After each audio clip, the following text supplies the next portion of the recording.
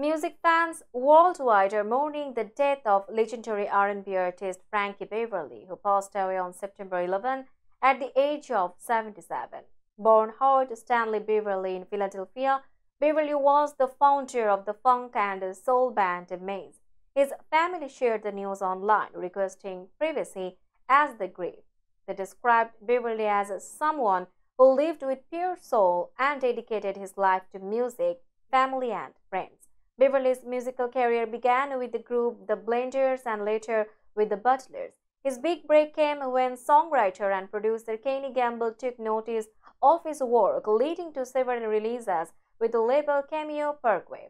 After relocating to the West Coast, Beverly formed the band Maze, releasing nine gold albums over his career. Earlier this year, Beverly marked his 50 year career with a farewell show at the Dell Music Center in North Philadelphia. The cause of his death has not been disclosed.